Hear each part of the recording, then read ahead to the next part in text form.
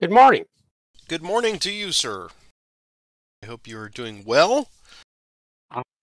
Making it through the day, yes. That's all we can do, one step at a time.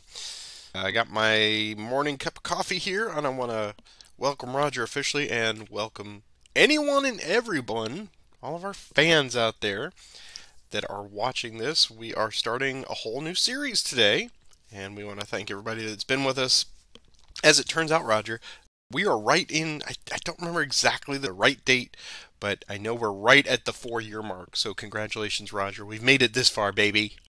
That's amazing to me that we've done this for four years. It seems like we just got started. But then I look at the list of videos you've posted and I go, wow, we have been doing this for a while, haven't we? Yeah, I was cleaning up some of the playlists yesterday just to make everything just so, and I realized, wow, you know, the, our our main playlist, the chronological playlist, with even with all the breakdowns of the advanced scenario multiple sessions, we we got over 125. So there's plenty of viewing for you out there, folks. And we hope those of you who are new to the system are getting something out of it. And for those of you who just enjoy being a fly on the wall, we hope you're getting something out of this too. Based on the feedback that we get week in and week out, that is what is happening. So, I mean, I am just overjoyed that we are providing some content out there that somebody finds either useful or entertaining. And I could not do it without my partner in crime here, Roger. So, this gives us the opportunity to reintroduce ourselves at the beginning of every new series. So, not to put you on the spot, could you tell everybody just a little bit about yourself? Uh, sure born and raised on a small farm in Iowa. I, I got involved in gaming, if you consider, I think chess is considered a war game. My dad taught me to play chess.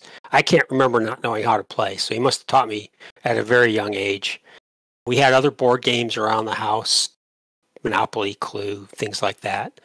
About 10 years old, I uh, saw a copy of Afrika Korps, the Avalon Hill classic game, in a local five and dime store and told my mother I wanted that for Christmas. I was probably about 10 years old. I, I was into history even as a young young person.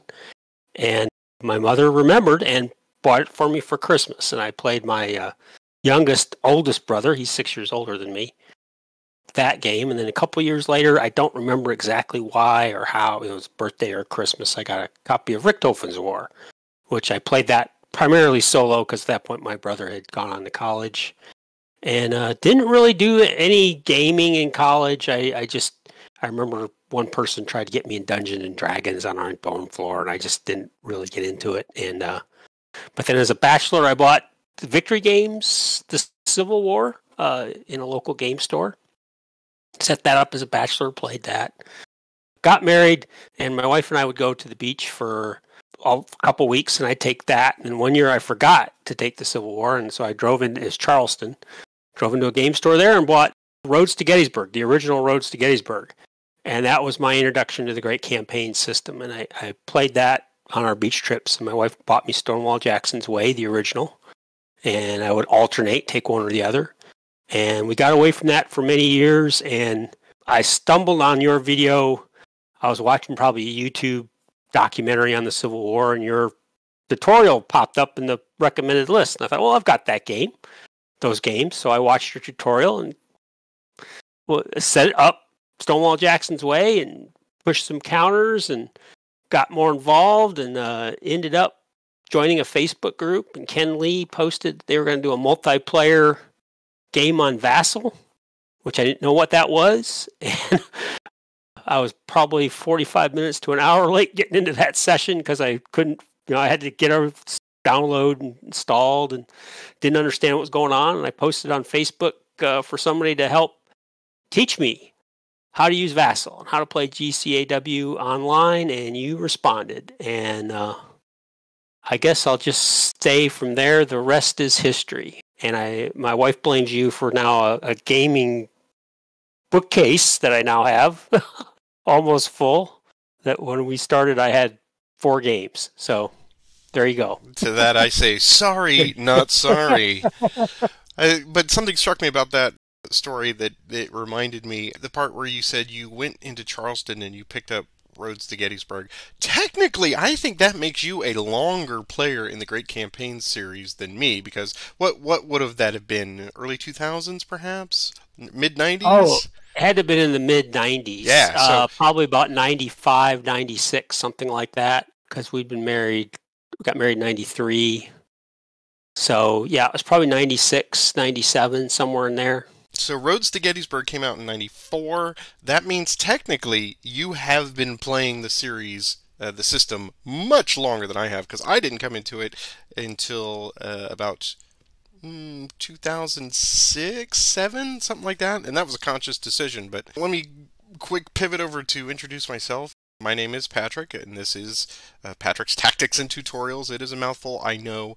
This all got started just out of necessity. I was bored, and, and Ken Lee did play a hand in that. I had, uh, 10 years ago, about 20, 13, just on a lark, I had borrowed some screen capture software from a buddy of mine, and I was just experimenting with that.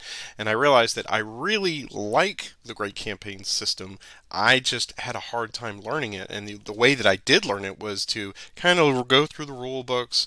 And at that time, Jay Myers had a very good website called Wargame Replays, which is now sadly defunct. But there are ways to get to that. If you go to the Wayback Machine or the Internet Archive, you can actually get the, some of those old links and the sublinks to work to that. So that material is still out there. There are there are copies of it on the interwebs, but you just have to work a little harder to get it. But I used that site to kind of help me get up to speed on it, and there were no videos at that time. I mean, uh, YouTube was only about four or five years old at that point, so I said, well, maybe this will be a help of some to some other people. And i created a series of five videos and they are so adorably rough uh, now. And i keep promising people as they ask me about them that i am that one of my projects this year is to go back and to do a redux version of them to improve a lot of the technology and just the scripting and the examples and all that stuff. So that is in progress. Trust me i am working on it. I just want to make sure it's perfect you know just so so I made those, and those sat dormant out there. I mean, people were using them, but I didn't do really much with the system until COVID came along. I was playing in tournaments. I was learning the system. I was kind of honing my craft. But I've always considered myself sort of a, a middling, competent player. I can play the system.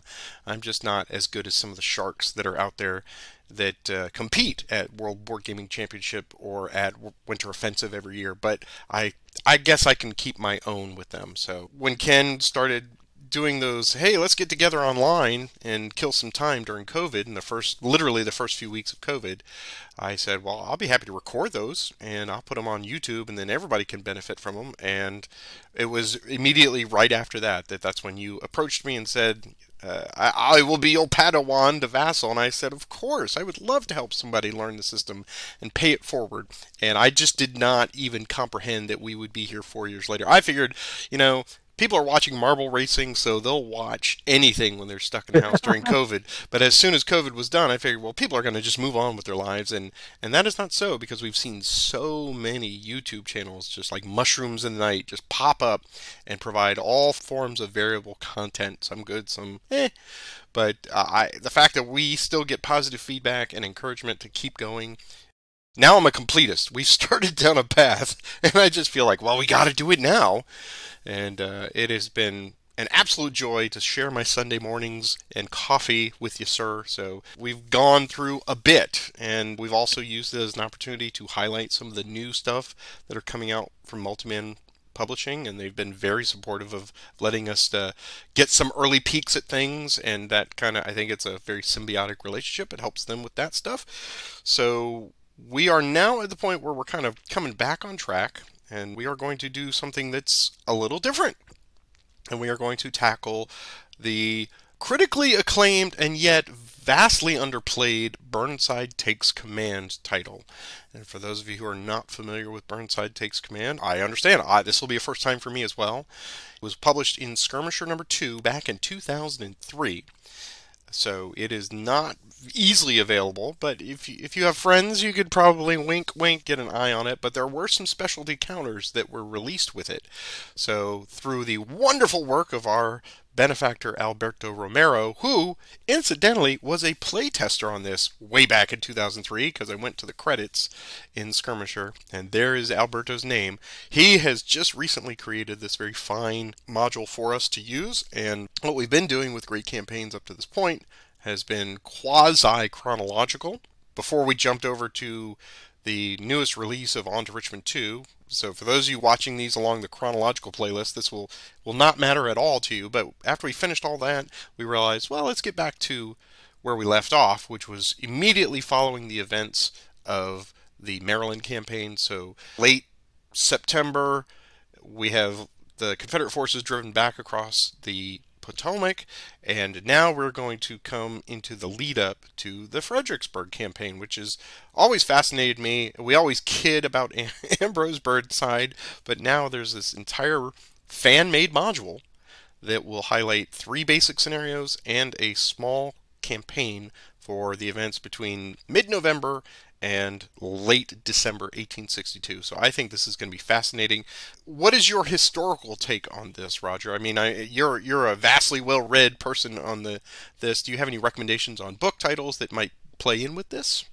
Surprisingly, or maybe not so surprisingly, most of the references I'm going to suggest are more general. Bruce Catton's Army of the Potomac trilogy, great place to includes uh, Shelby Foote's obviously huge volumes.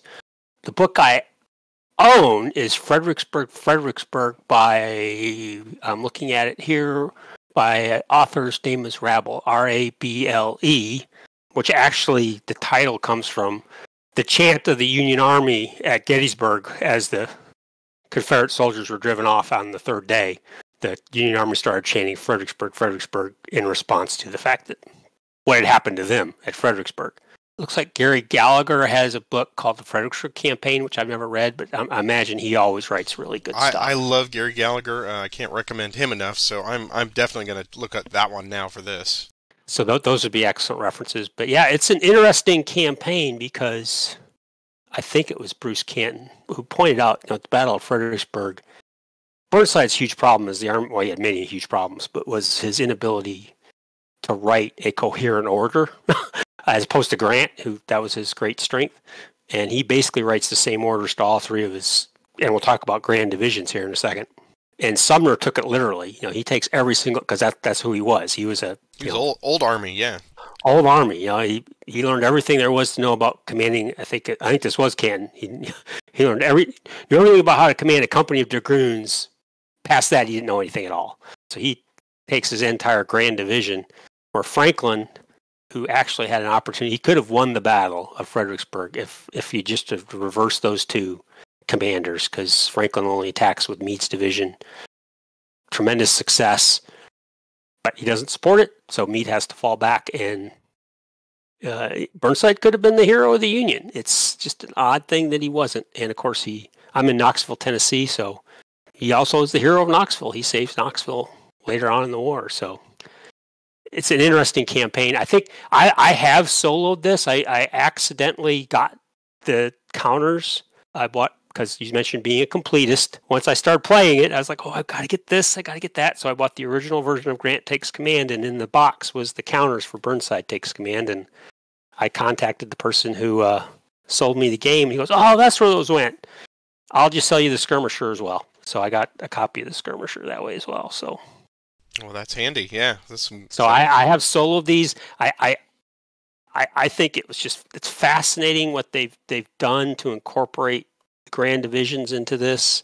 I think you're going to enjoy playing it. I really liked the campaign game when I played it. It rained a lot, as it always does on me. It always rains. of course. uh, but I think I think I hope people enjoy this. I I know a lot of people were, were asking us to maybe look at Petersburg campaign or, or, or the new Vicksburg game that's coming out. But I think this blast from the past, I think people will enjoy seeing because it's not out there.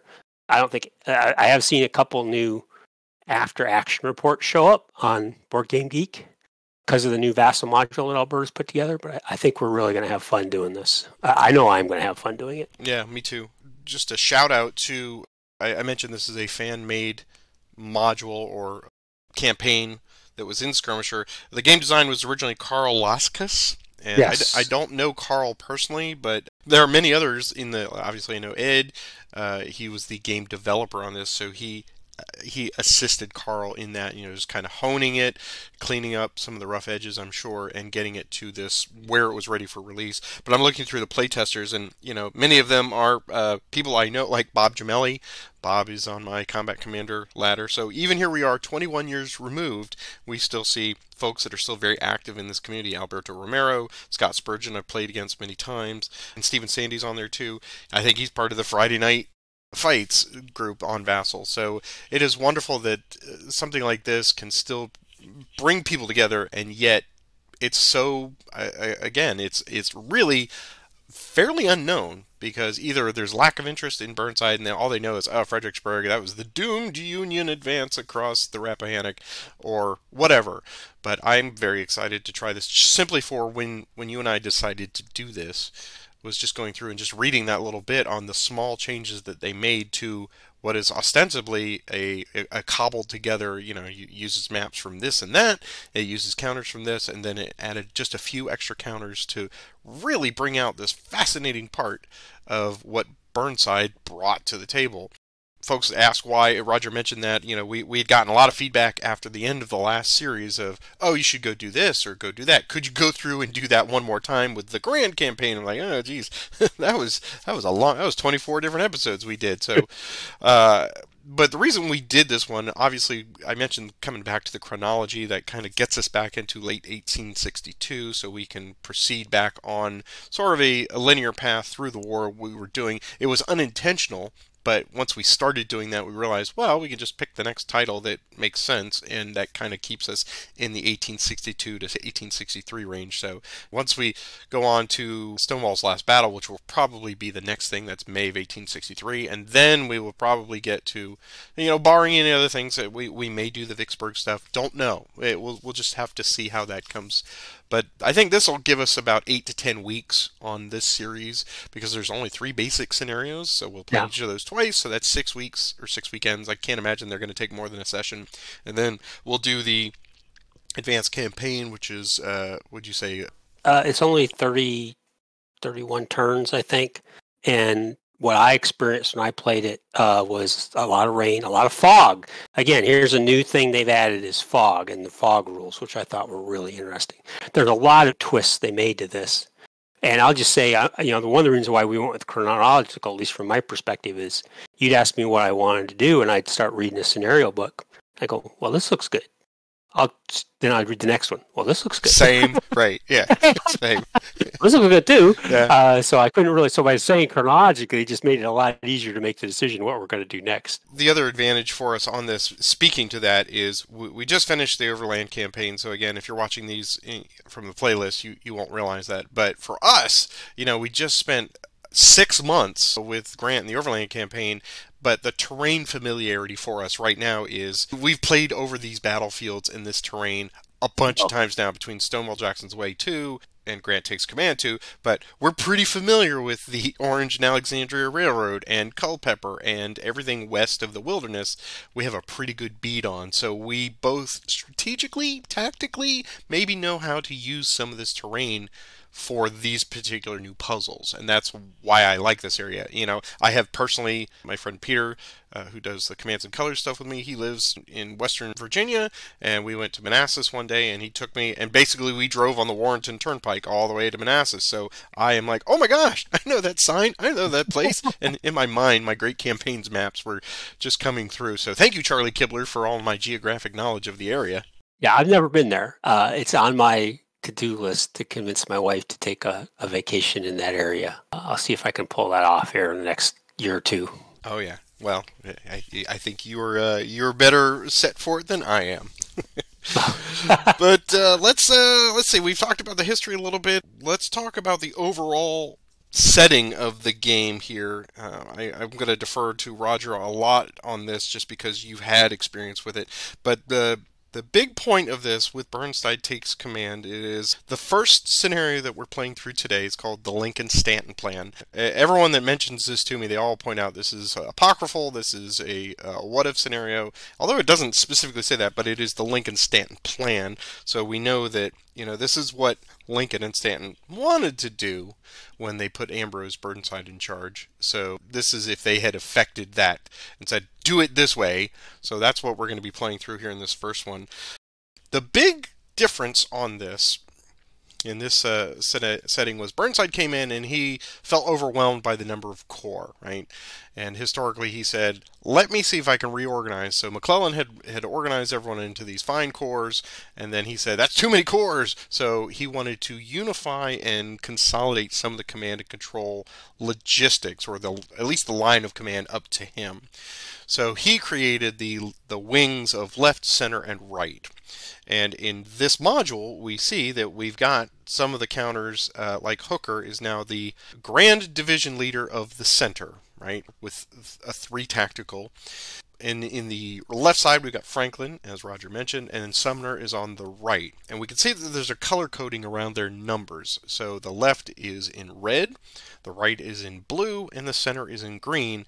And that means there are two corps that that report to each of those wing commanders. So you can see from a logistic standpoint, they're they're already mixed and matched. So what this introduces Uh, is a, a, wonderful new layer of complexity that they even say right here. Grand assaults are even harder now. It is counterintuitive because he was trying to make it better, but all he did was add a layer of bureaucracy between himself and all of the corps commanders. So now, if you, as the Union player, want to initiate an assault, Great, you initiate an assault. If you want to initiate a grand assault, well, it's got to go up the chain a bit. so it's got to go to the grand division leader, and then if it gets approved by them, it's got to go all the way up to Burnside. And there are two critical failure points now introduced there. And I love that because it's like, ah, oh, as if it wasn't hard enough to do a grand assault. Now it's double failure time, right? So, um, what are your thoughts on that? I liked it when I played it. The complex, I mean, for this scenario, obviously you're going to have to make a decision. How much do you want to take advantage of the mechanics? Because I imagine a lot of people don't have the rules in front of them. So for three days, 15th, 16th, and the 17th, the three days of this scenario is you'll get a plus two to your movement roll if you activate using your Grand Division Leader. But you've got to have both your corps commanders within command radius to take advantage of that and you can't it's like strategic movement and grant takes command. You can't enter a zoc. You can exit a zoc. So there's definitely a, a, positive to it. As it says there's pluses and minuses. That's the huge plus. And you can if you get your grand division within the three hex limit of your corps commanders then you have another three hexes for them. So you could spread out over almost you know a tw- 12 hex area. You can you can work within uh, if you can get your guys organized uh, I don't know in this scenario, this first one we're going to play, if you'll want to take the time to do that.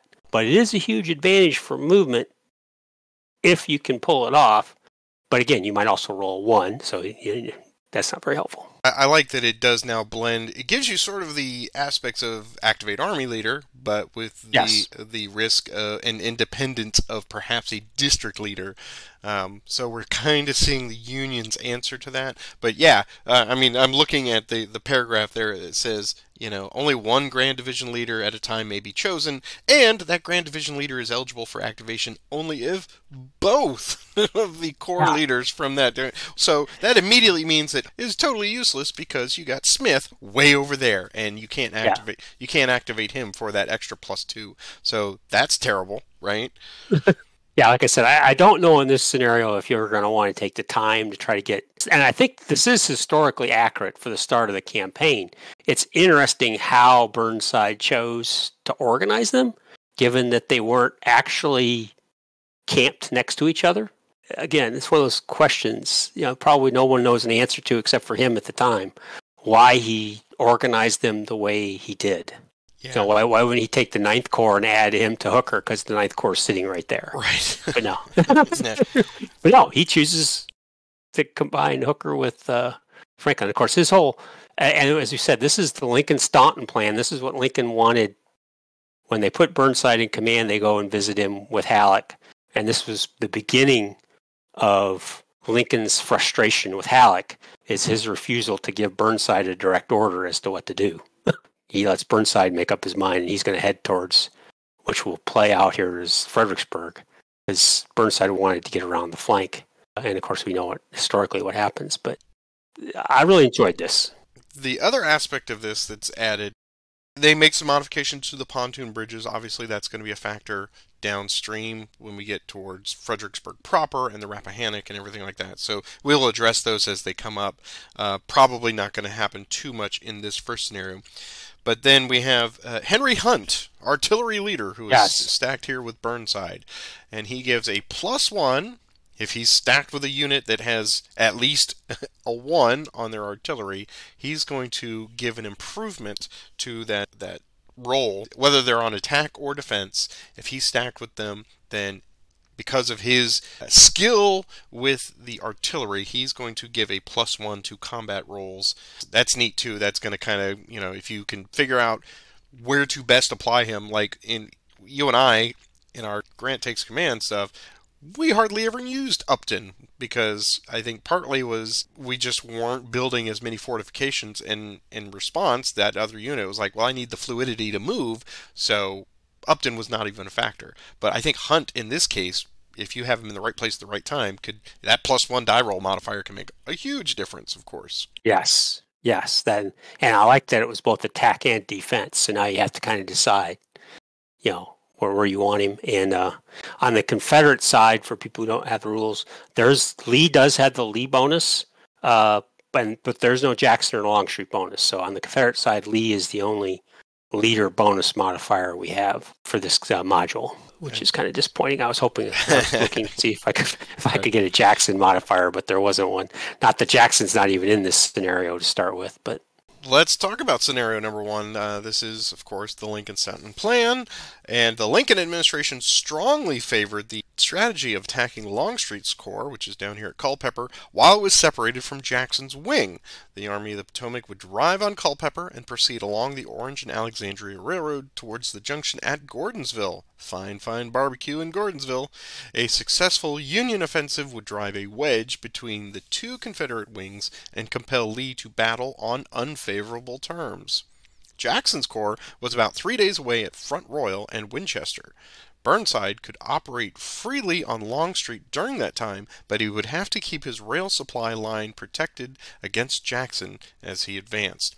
And that is going to be, as we see here, a modifier to the final point schedule for this scenario, which is three turns, an alternate history or an apocryphal scenario. It's a what if. This is November 15th to November 17th, so we're going to do this. Hopefully, we'll be able to get through this in one day, I think, because it's a small counter density. There are no random events. No major river bridges on this one. The only restrictions on this one is we have caps on, uh, we have turn two caps on a, some of the units there for the Union, so that's not a problem. And uh, Ransom, we got poor Ransom down here for the Confederates. He cannot move on turn one, wherever he is.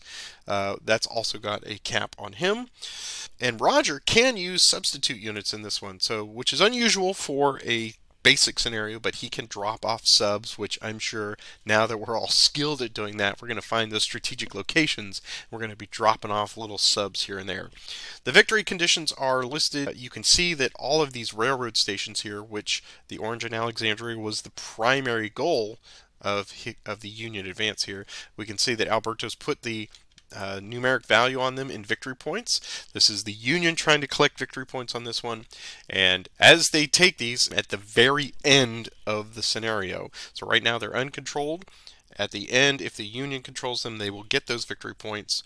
But one wonderful thing about this is if they can get down to beyond the Rappahannock and they can get to Brandy Station, uh, you can see the little asterisk on those, and Culpeper, and even farther down, Mitchell Station or Rapidan Station, because of those asterisks, if the Union controls those and they have a line of supply along the railroad, and that line of supply can be in a Confederate ZOC, but it must not have a Confederate unit on the railroad.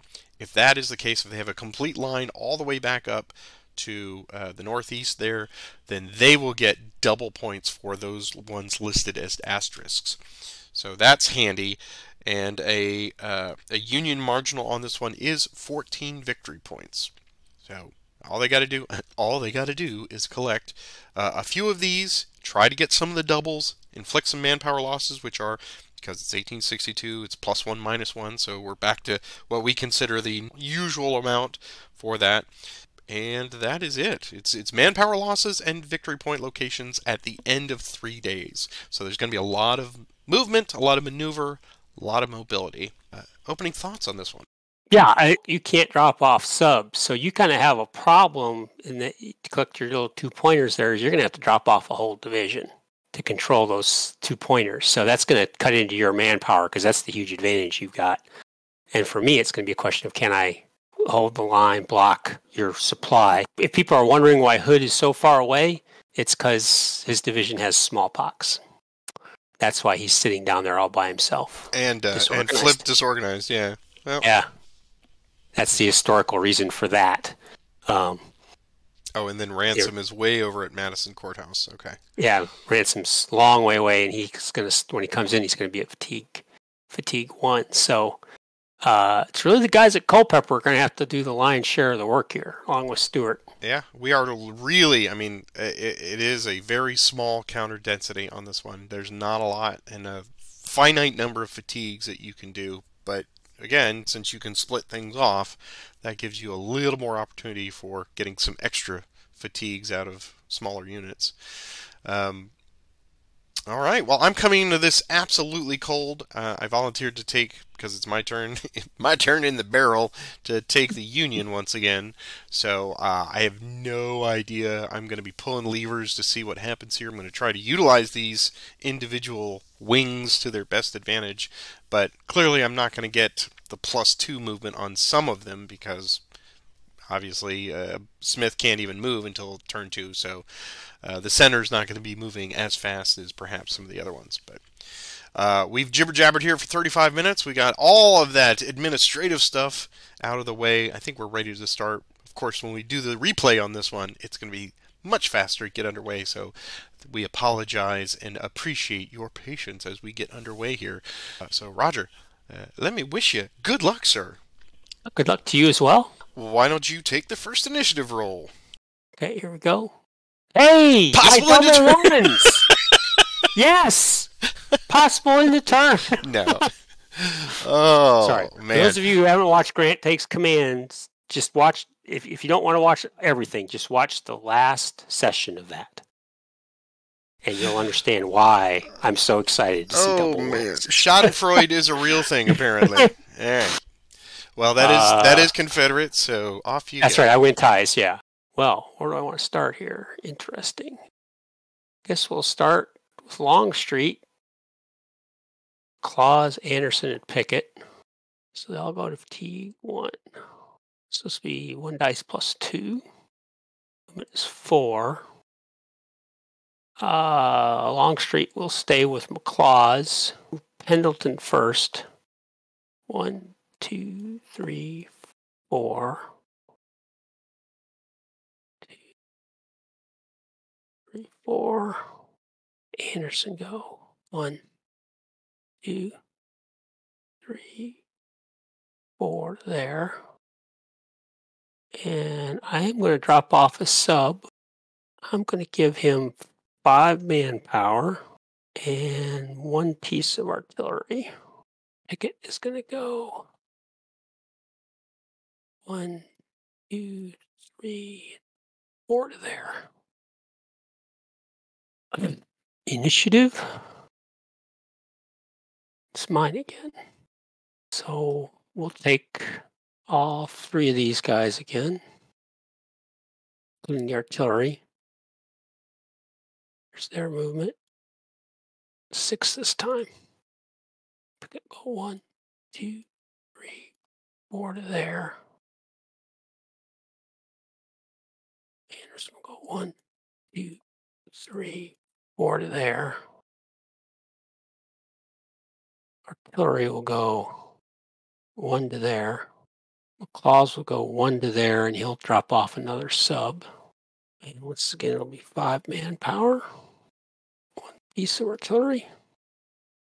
That's one, two, three, and four to there. Uh, initiative. Mine again. Well, can't complain about getting the initiative rolls. Take Stuart, Hampton, and F. Lee. Okay. Yeah. It's going to be eight.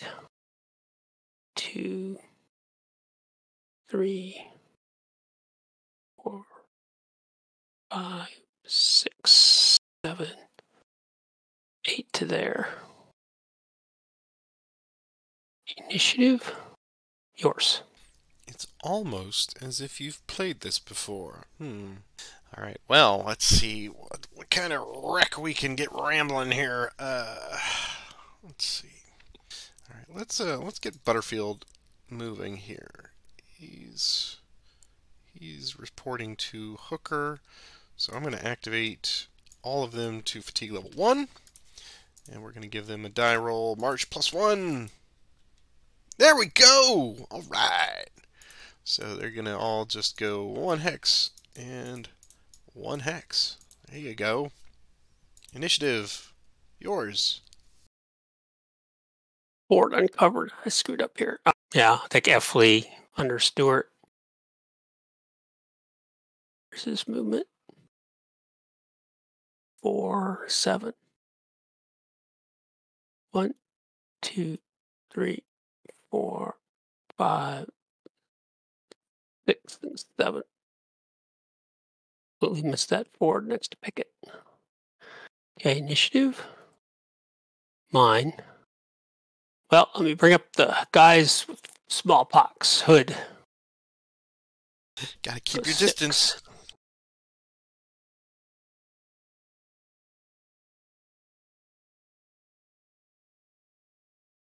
I remember right there is a random event in the advanced game, which is smallpox breaks out. Mine again. Yeah, I'll take them again. Six again.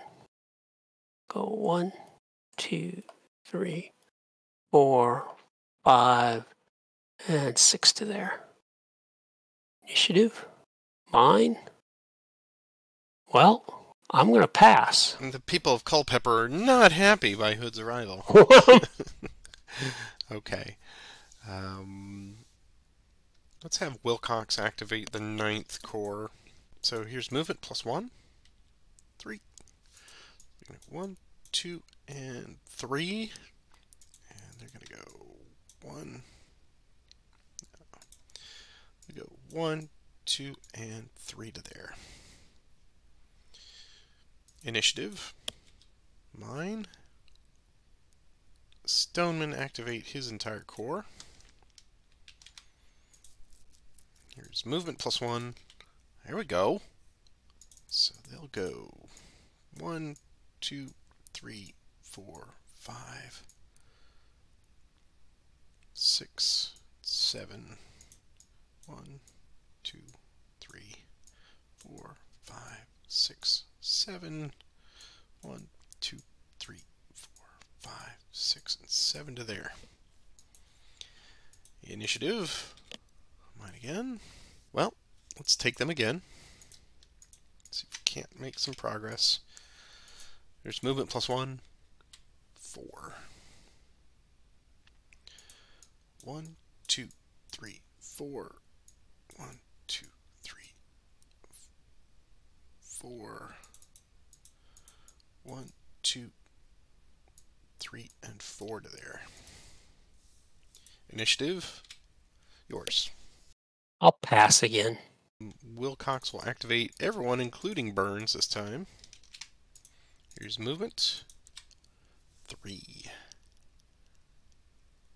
Sturgis go one, two, three. One, two, and three. One, two there. Uh, initiative. Presume pass. Pass, yeah. Gregg March. Here's movement straight up. 11. 1, 2, 3, 4, 5, 6, 7, 8, 9, 10, 11 to there. Initiative. Yours, if you want. Uh, pass. Farnsworth. Movement. Eight. Gonna go one, two, three, four, five, six, seven, and eight. Initiative. Yours? Yeah, I'll pass. Well, let's let's have Reynolds activate the first corps. Here's movement plus one. Five. So one, two, three, four, and five. One, two, three, four, and five. One, two, three, four, and five. Initiative. Yours? Yes. I'll take them all again. Movement. There we go. Alright, we'll have Gibbon go first. He's going to go one, two, three, four, five, six. And Meade will go one, two, three, four, five, and six. And the rest of them will go one, two, three, four, five, and six. Initiative. Yours? You pass. I get the initiatives. Can't complain about that. No. Let's have Couch activate the second corps. Here's movement. That's nice. So they're all stacked here. So we'll go one, two, three, four, five, six, and seven. One, two, three, four, five, six, seven. One, two, three, four, five, six, seven. Initiative, yours. Us again. Have Reynolds do these two divisions down here with him. Gonna have extended marches, so movement. Three. Hmm, terrible. Need one more. Meade will go first. No transfer. Extended march. Uh, he's okay. One, two, and three. And Doubleday's extend. He's okay. One, two, three to there. Initiative. Yours if you like. Pass again. Couch activate the second again. Here's movement. Six. So I'll go one, two, three, four, five, six. One, two, three, four, five, six. One, two, three, four, five to there. Initiative. Yours? Hmm. I'll activate my claws.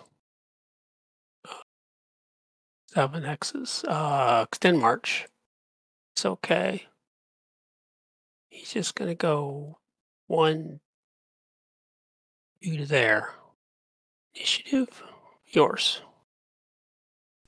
I will activate Butterfield in the fifth corps. Here's movement. Not going anywhere fast. Alright, he's gonna stay with Griffin and they'll go first. One, two, three. One, two. One, two, three. Initiative. Mine again. Well, might as well take him to three. Here's moving. That's There you better. go. That's better. All right. We can have extended marches. So Griffin first extend. He flips. There we go. One, two, three, four, five, six, and seven to there. Uh, Sykes, actually no, uh, Humphreys will go next. Extend, he's okay. One, two, three, four, five, six, seven. Sykes, extend, he flips. They're tuckered. One, two, three, four, five, and six to there. Initiative. Mine. I'm going to pass. I'll pass as well. All right. So we end the very exciting first day. uh, let's let's uh, open up the time, see if he's got automated time tracking. So I'm going to hit the recover button. Uh, it does not, so I will just move that down to turn two. There we go. Let's make sure that I can remove that turn two marker, and it doesn't do it automatically, so make sure you uh, take it off a Ransom down there. Okay. Well, turn one ended with uh, not as much. I mean, I had some, I had a couple of good marches there, but you've managed to set up a nice line there. So it's a matter of can I punch through? Where do I punch through? And all that good stuff. Yeah, I definitely have see you sneaking Butterfield around my flank there. Moi? Sneaky? No. Yes. No. Uh, it would have been a whole lot better if he didn't roll a one and a two. Yeah. Yeah. and then But two of them go uh, fail their extended marches. That's where it gets Yeah. frustrating. It's It one thing to roll ones and twos, then to, to roll your fives and sixes on extended marches. It's just frustrating. I would like to force march. No. Oh, yeah. Yeah. Well, then, uh, leader transfers. Let's see if I have any leader transfers now. Um, I don't know. I guess I'll move Reynolds down to Meade. Um, I'm gonna keep Couch and Sumner. Um, I think I'll move Hooker and Stoneman up to Birney. Uh, and I'll move Willcox to Sturgis. And that is all, I think. Anything for you? Guess I'll leave. Well, roll the man. Yeah, I'm gonna leave everybody Lee and Longstreet with McLaws. That's where the action looks like it's gonna be. Yeah, yeah, it certainly looks that way. Okay, well then you rolled the first initiative for turn one, so I will roll it for turn two. Here we go. It's yours. Okay. Take Hood. This movement. Five. Go one, two, three, four. Go five to there. Initiative. Mine. Take Hood again. This movement. Ooh, seven.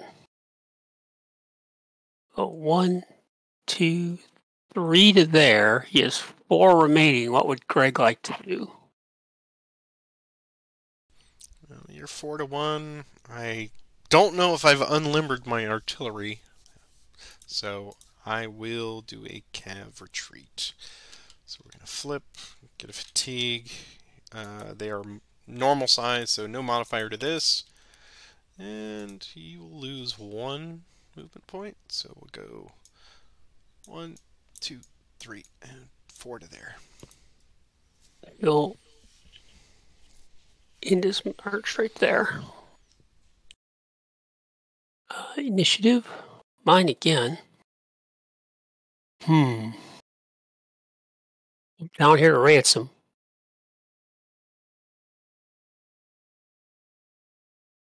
Was three hexes. One, two, three there. Initiative. Ransom again. Two hexes. It's a three turn scenario. Two movement points, I should say. Talking about force march. So I'll force march him. So he's going to flip. This force march roll picks up an additional five, so his total movement now is seven. Going to lose two manpower for it.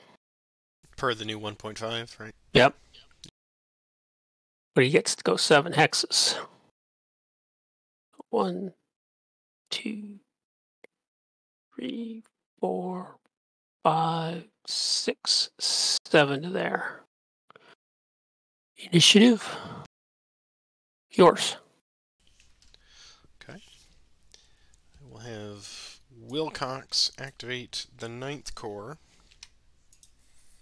Here is their movement plus one. Five. Uh, we'll have Willcox and Sturgis go first. They're going to go there. What would F. Lee like to do? You're an 11. I have four left. You know what? We're going to stand.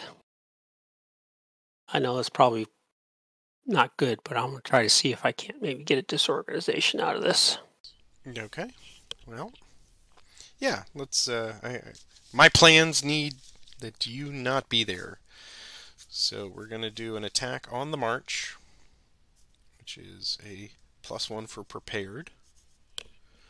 It is a plus one for tactical. And I'm 11, you're 2, so it's a plus 4 for a ratio of 5 to 1. And then minus 2 for the minor river. So I see 6 up, 2 down, plus 4, as you say. Yep, that's what I see. Here is a plus 4 attack. 6. Ah, man. Your your wishes become true, sir. Uh, it is a plus 1, which fails to eject you from there. I have 11, and that's a 1d for me, so I'm proceeding into the hole. Get a D result. So they are now a that. That in my brain went a whole different way. But, you know, you made the right call. Alright, well, okay, so now we'll have Burns go one, two, three. What would F. Lee like to do? You had a five per movement. Did have a five total movement. Got two left, so that'd be normal. Little cav retreat out of there. Pick up my last fatigue. Here's my attempt at retreating. It's a five. That was a one, so I think that's A minus two. with two, yeah. So I will lose one movement point. And so I gotta go further away by road for one, further away by road two, further away by road three, further away by road four. You know what? I'm just gonna take the other two, five and six, to get back to there. Okay. And that hex is now yours. Yep, I got one left, so I will take it. Simply going to go one, two, three to there. Uh, initiative. Yours. Well, I should have moved. No, I didn't know where to put Longstreet. We'll activate Anderson for movement. Go four hexes.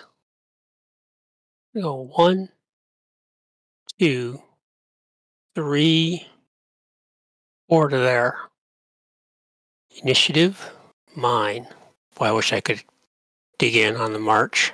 I really missed that. I mean, I didn't like it. Uh, you know, the No, first no, time we no played it, but shovels. no shovels requisitioned in 1862. I'll take Ransom to take three. Here's his movement. Ah, extend march.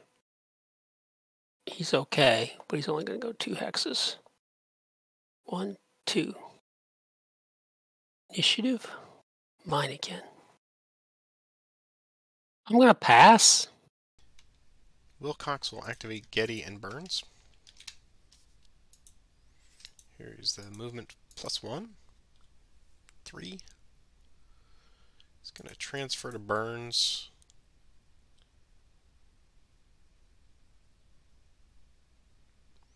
I'm going to go one, two, three. And one, two, three. Initiative, mine. Uh, they'll take them to three. Movement plus one. There we go. Hmm, there we go. All right. He will stay with Burns.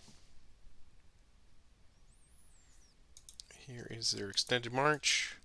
Uh, they're good. So one, two, three, four to there. What would Ooh. Stuart like to do? So you've got three remaining? I do have three remaining. Yeah, we'll retreat out of there. Starts off with two strength. Here's his retreat roll. Four. Okay, so I lose two. I have one left. So I've got to go further away out of a Zoc to there. Further away out of a Zoc to there. That's two. Uh, further away by road, three to there. Further away by road, four to there. Yep. I'll stop there. Okay, four to there. I had three left. I lost, uh, so I have one left. Go to St. James Church, and uh, somebody did point out that is a that's an error. It should be St. James's. Oh. Austria on the other side of that S. So good catch. It only took us ten years. And Getty will go one, two, three, four.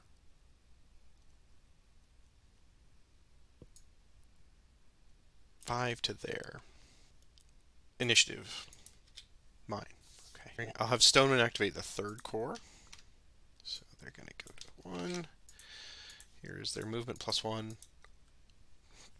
Dang it. As you like to say. Uh, one, two. One, two. And one. I'll just go to there. The initiative. Yours. Anderson to take two. This movement. Seven. We'll go one, two, three to there. He'll have left to make a prepared attack on Getty. Type's going to be a plus one. Tactical's going to be a plus one. Flank is going to be a plus two. And artillery is going to be, that's minus Minus one. Mhm. So it's going to be one, two, three, four up and one down for a final of a plus three. Yep. Okay, plus three. Four.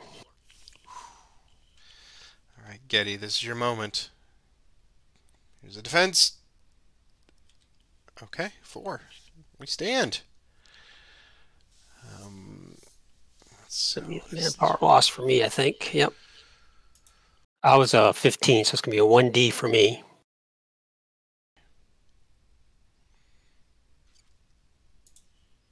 Flip. Decrease, and I flip to disorganize.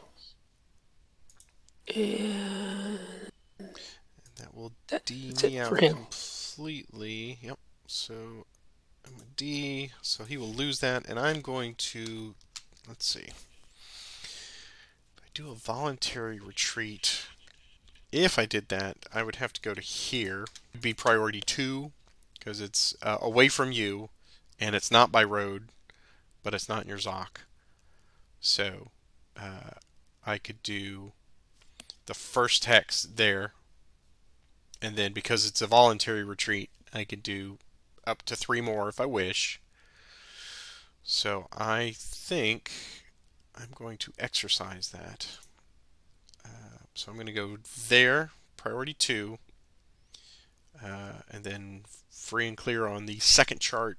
I can just not get closer, not your Zoc. Uh, I'm going to go one, two, and three to there. Does that work for you? Yeah. Cool. I think that's right. Yep. Okay. And uh, that was yours. Oh, yeah, initiative. That's mine again. Well, sir, many holes. Uh, take Pickett. This movement. Go three. Man, do I want to leave anything? No, we're just going to go one, two, three. Initiative. Mine.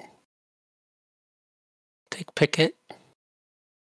Oh, one, two, three, four to there. Initiative. Mine.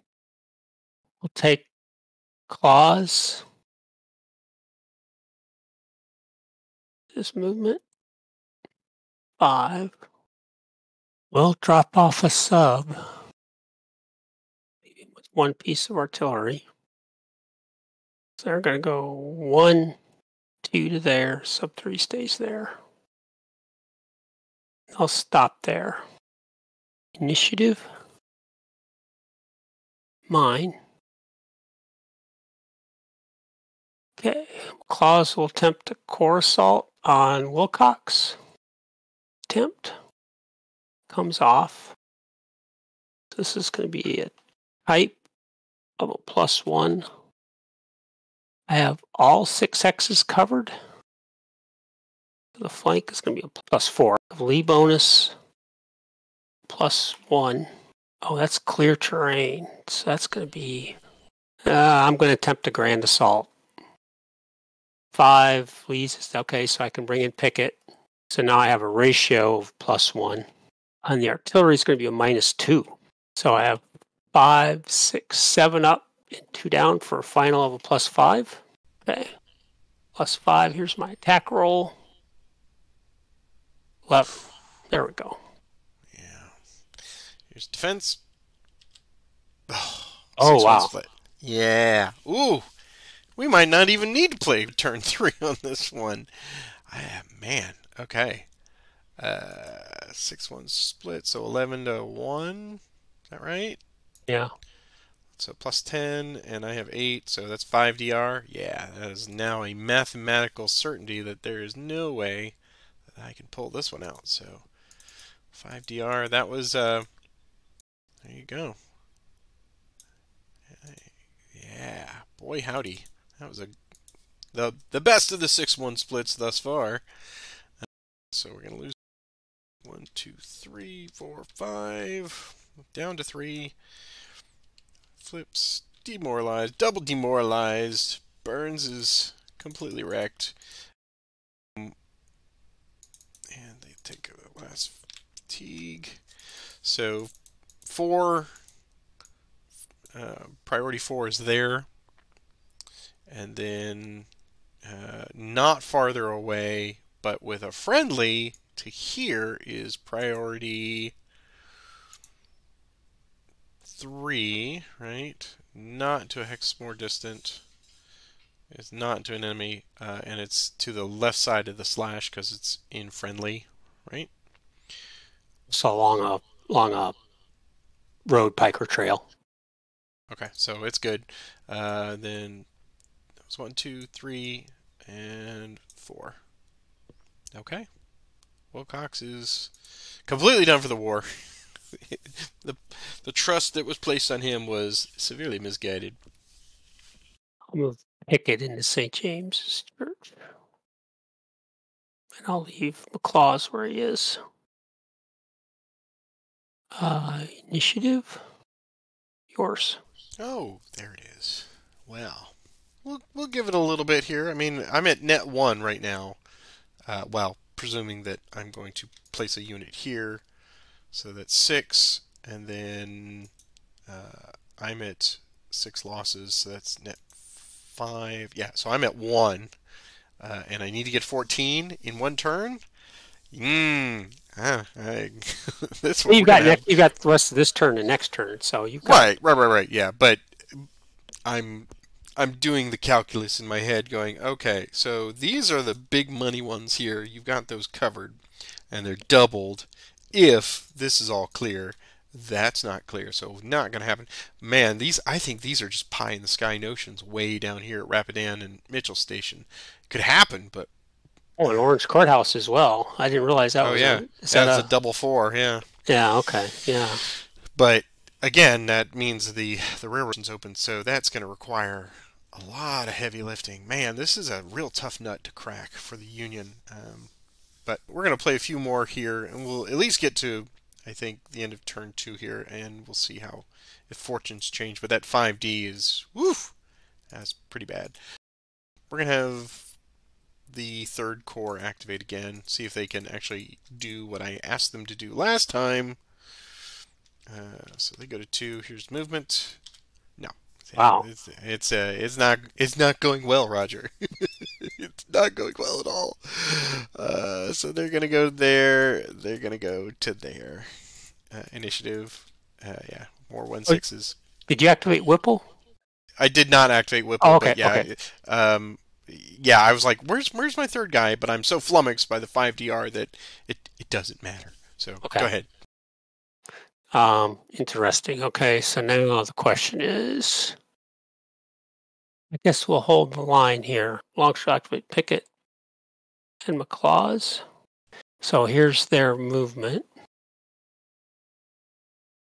Pickett will go first. Longstreet will stay with Claus. So here's Pickett.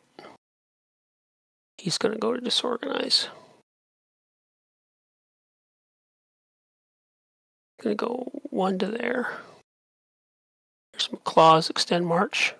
He's okay. He's gonna go one, two to there. Initiative, mine. I'll pass. Okay. I'm going to have Reynolds activate the first corps.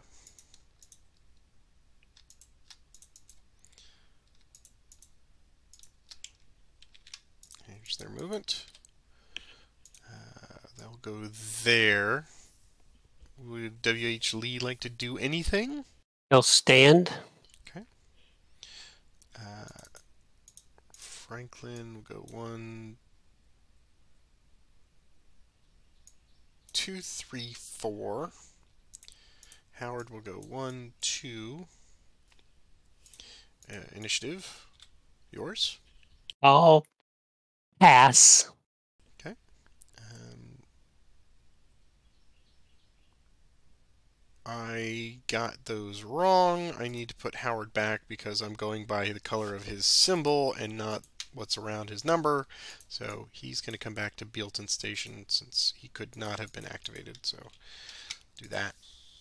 Let's get Baldy Smith moving. Go six corps activate. Here's their movement plus one. Four. He will go with uh, Newton. He'll go one, two, three, and four. The others go one, two, three, and four, and one, two, three to there. Initiative, yours. Yes. Okay. Gibbon will march straight up. Four, one, two, three, four. Initiative, mine. Uh, Smith will take them again. Movement, five.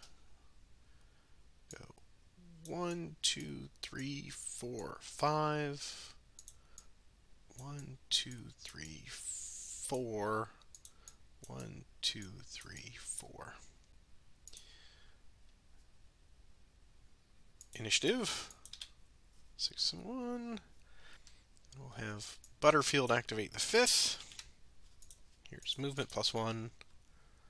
Very nice movement. Okay. Griffin will go first.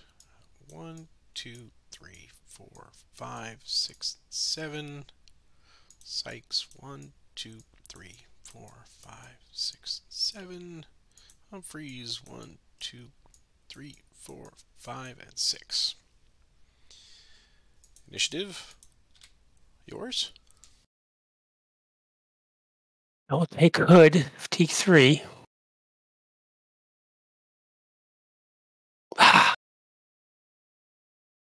Not good, not good. One, two to there. Initiative, mine. Man, I want to Hood to fatigue four.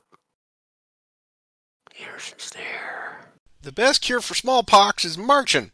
Yeah. Gonna stay. They're gonna get more entrenchments. They'll get entrenched there. Yeah, I think I need to leave his his open because you can still come around. Yeah, I'll activate Hampton with Stuart. There we go. Wow. Stuart. What plumage? Well, with that, he's just gonna go two, three there.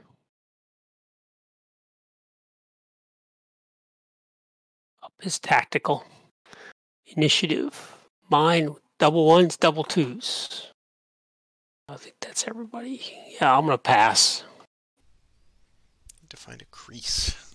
A crease. My country park crease. Um,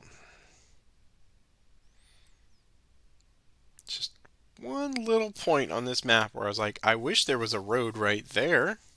That would be handy. I'm gonna have Couch activate the second corps completely. Here's movement plus one. Four.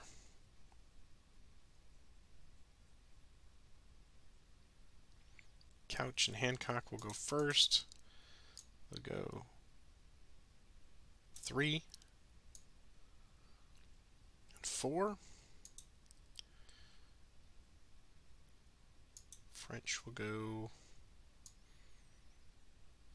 one and four. Howard will go one, two, three, four to there. Initiative, yours. You need to pass. Do the second corps again. Here's movement plus one. Grrr, teeth grinding. Oh. So upset, Roger. Hate game. All right. Well, needs must. So uh, Hancock will force march. So he's going to flip. Here's force march roll. He gets an additional three. So we've got five total, and he loses one manpower. So we have one, two, three, four, five. Uh, I got two each. Uh, French will force march. Here's his force march roll. Okay, so he gets another two. He's got four total. He's going to lose a manpower. And he's going to go one, two, three, four to there. Howard's just going to go one to there. Initiative, mine. Okay. Activate the second corps a third time. We'll have extend marches for everyone. Here's their movement. Five. Let's start with Couch and Hancock, see what happens. Uh, extended march for them. They're okay. So we get five.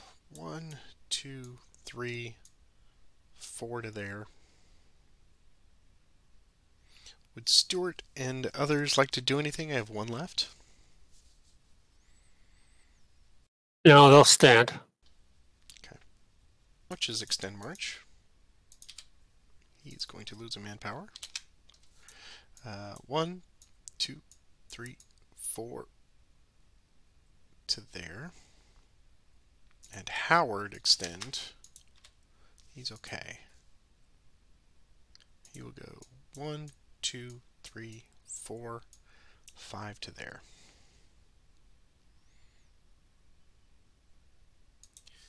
Initiative, yours. Contemplating, do I attack?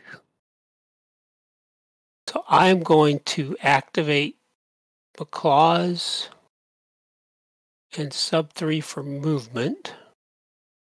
I'm only going to be able to go one hex, so I'm just going to uh, roll McLaws' extend march. He's okay. So we're going to go Zoc to Zoc to Stuart's hex.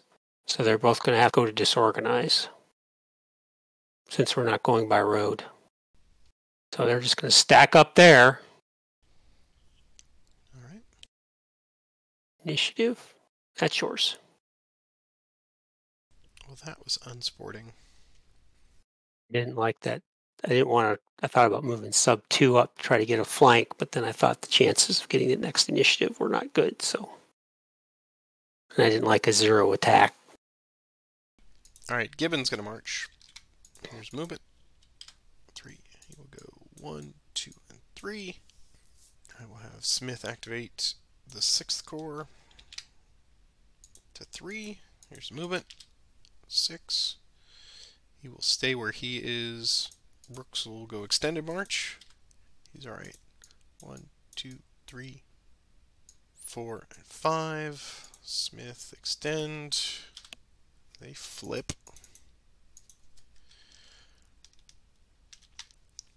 Newton goes one, two, three, four, five to there.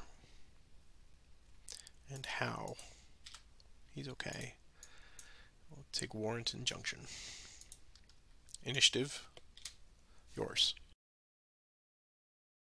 Well, I think I'm going to take McLaws sub three again. We'll roll for movement because they could potentially go to St. James Church. So they get a six. And we'll do sub three. We'll go first. Here's their extend march. A four, no modifiers. Go one hex to there. Now here's McLaws. This is going to be plus three. Wow, it's okay. Lucky son of a gun. At Longstreet. And Lee will go with them. Okay. Initiative. Mine. Tired everybody out.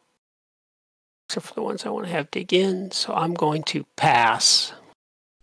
Look around here. I think it's worth taking the fifth corps again. So here's their movement plus one. Not worth it. Alright, Griffin's extend of plus one. He's going to lose a manpower. Go one and two to there. Sykes extend.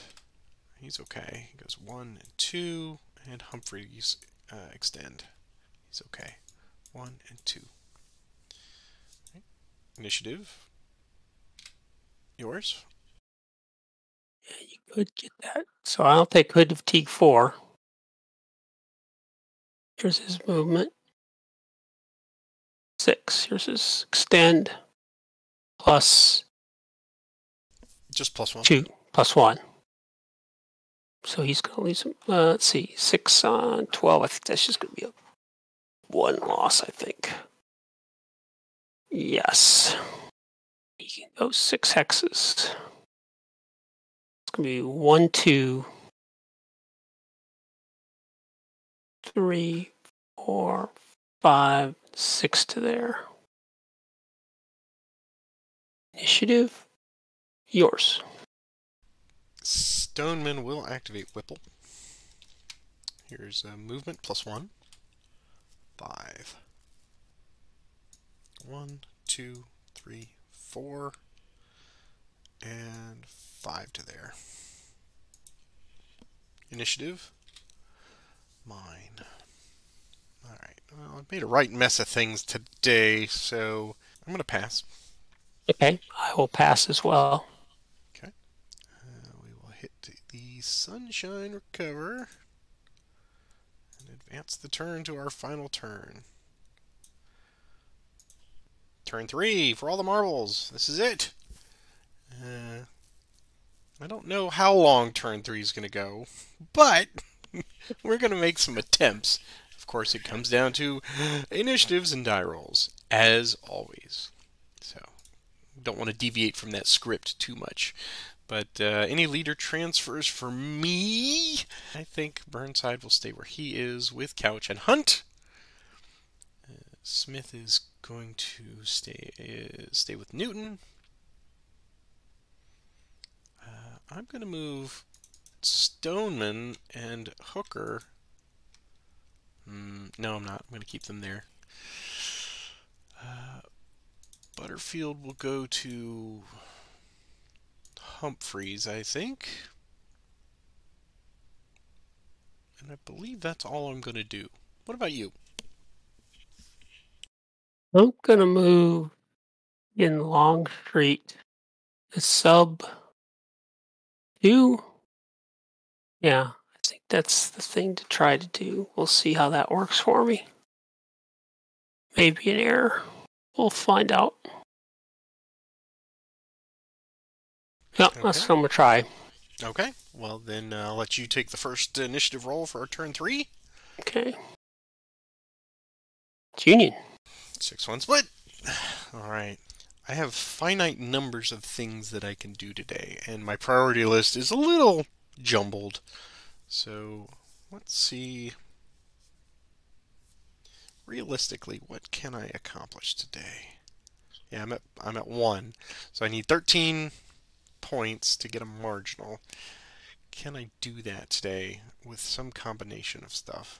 Uh, Reynolds is going to activate Doubleday and Meade for an assault on Stuart's cavalry. What would you like to do?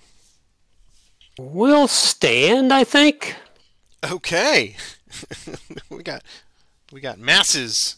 All right, so here is the assault attempt. It's four. Uh, Reynolds is a seven, so I could bring in up to three units, which I will. So we're going to bring in 26 uh, versus your 10, right? So we got plus one assault. Uh, leadership is the same. I've got a ratio of plus one.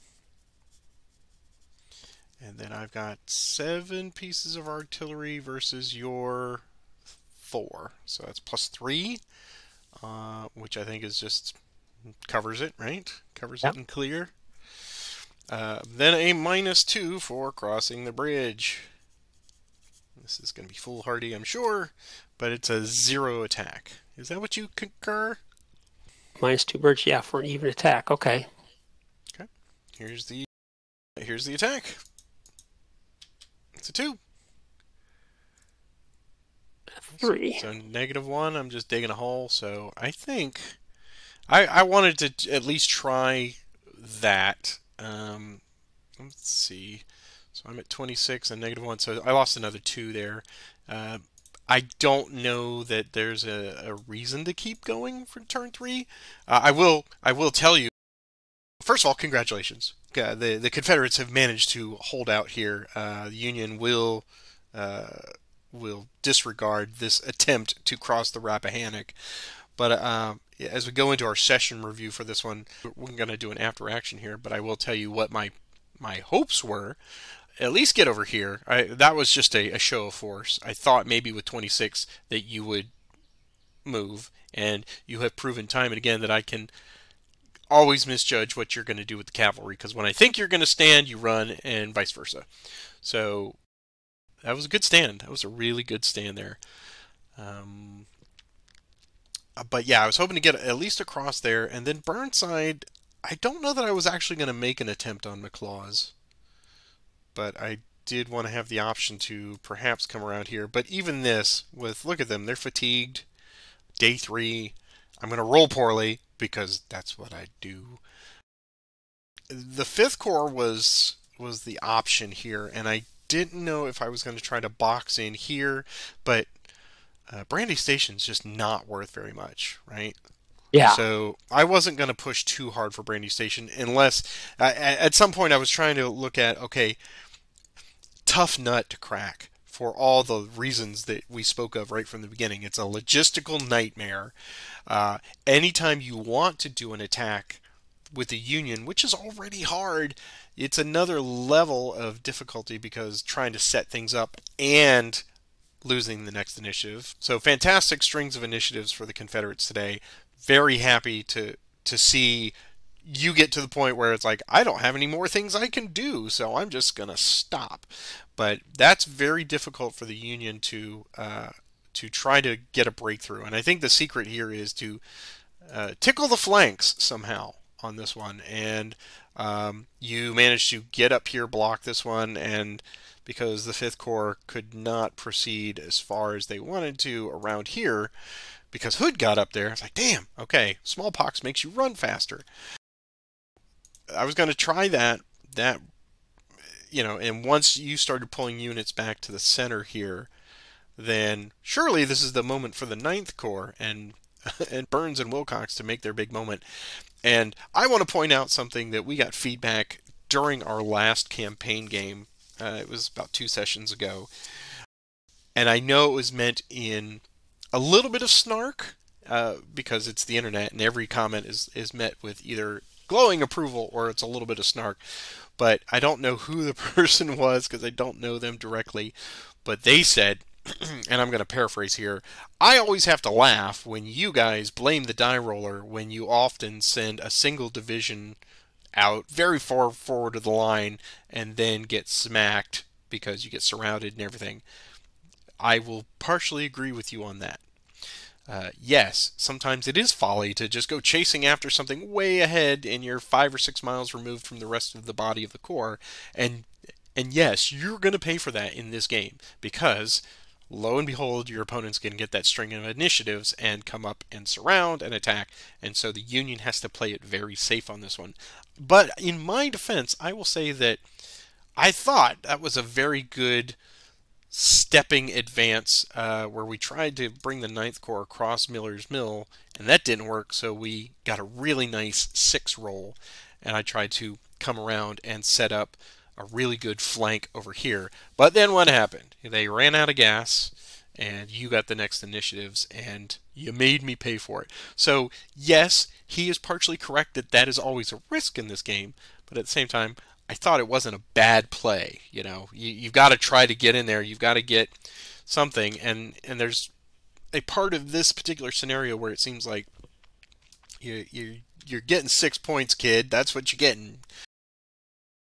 Yes. That's a detriment because that is tying up three divisions for all that. And anything else, you're going to have to try to get some manpower losses. And you just had this phenomenal wall here.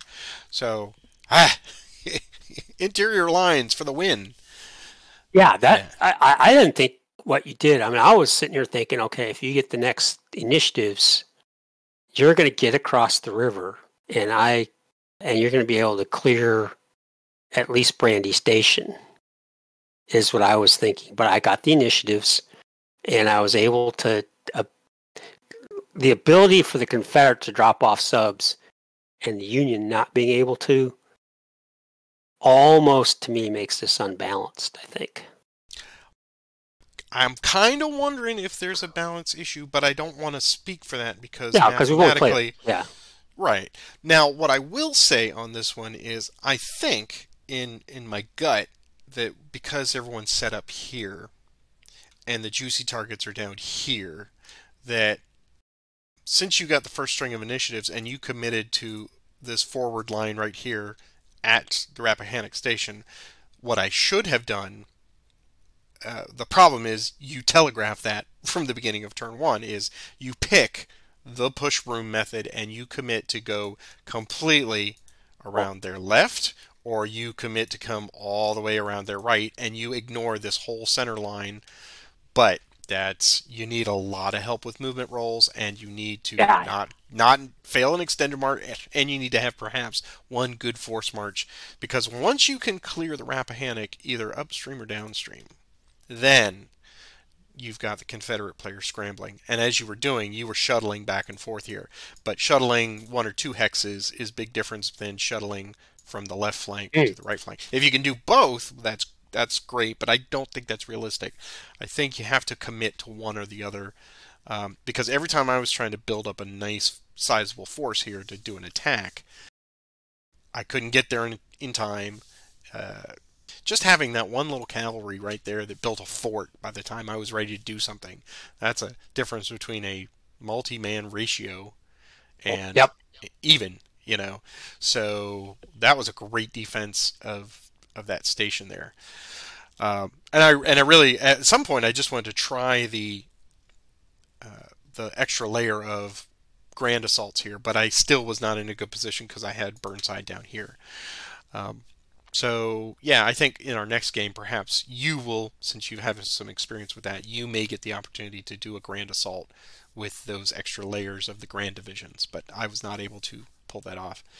But this one's tough. It's, it is tough. It really makes you appreciate, like we've gone back to the beginning, you've got to pick your opportunities for maneuver. You've got to pick an opportunity for, all right, I really want Rapidan Station. I'm going to make everything happen so that I can get Rapidan Station. But I think a lot of that is fool's gold because there's just never going to be a possibility. I don't think that the Confederates are going to have not a, a division sitting on, uh, or any unit, a sub or whatever, sitting on the Orange and Alexandria at any point. I'm glad that the Lincoln Stanton plan was not enacted. you know, but again, it's it comes down to initiatives. That's that's why we play the game. But uh, yeah, once once I got smacked really hard here by Burn, you know, Burns got smacked for 5D. Yeah. That was that was the writing on the wall. But I didn't want to just I don't want to leave the audience unfulfilled with two turns out of three. So I figured we'll at least get to turn three, and I'll make a play for something. But that was that was Yeah, even worse. 'cause- I sh- I probably should have fallen back after I defeated Burns because you'd have had a hard time making up the, the point deficit. yeah. To, So there is some balance in this between. I think it's most of it is, as you like to call it, fool's gold. I think some of those victory point locations are an incentive to drive you because historically that's what the Army of the Potomac wanted. But I think realistically, you probably need to come in there really hot and heavy and just try to beat the stuffing out of them and Yeah. get get the six that you're going to get and then try to figure out a way to inflict eight manpower losses without losing your own manpower losses somehow but that's the trick of it um, so for those of you who have played this over the last 20 years and have experience i know there's some new players out there i know eric brosius and, and uh, his buddy are have been playing through this as well so some of you out there that have experience with this that's where we want to hear your feedback down in the comment section. Good, bad, ugly, indifferent, whatever. Uh, if we goofed anything, please let us know. And if you have a clarification or an easier way for us mentally to understand the Grand Division assault process up to Burnside, that would be very helpful as well as we prepare to swap sides next week. And uh, Roger will get he will get the uh, onerous task of moving the Army of the Potomac somewhere down along the Rappahannock. But um, what else do we have to say about this today? Anything? no, I, I like how they're able to, and I realize this is an older scenario, and they've learned a lot since then. The designers, how they they can add a little bit of tweak and a twist to make each module different, while still maintaining the the the basic gameplay. I, I think is really nice and and makes it specific to the campaign, which I I have to read about this Grand Division a little bit even more. I've read it multiple times now, I, I, but uh, yeah, this was. I, I wish I could say I played brilliantly, but you get a six one. Oh yeah, every time. Every time. But and and you know we can roll six ones all day, and we can roll snake eyes all day. So yes, sometimes, yes. Well, sometimes they help. Sometimes they hurt.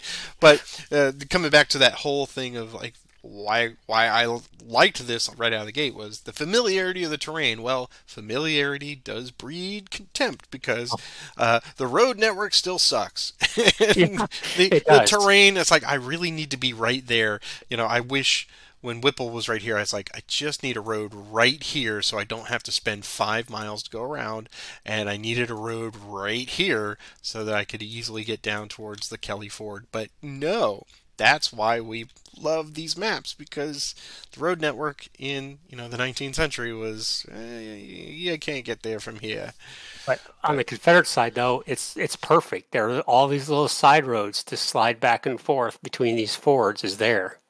Yep. St. James Church to Farley. The guys under. I mean, there's just a nice. The road network for the Confederates, as you said, interior lines is is there, and it really helped me. I was able to to just move back and forth and it worked great.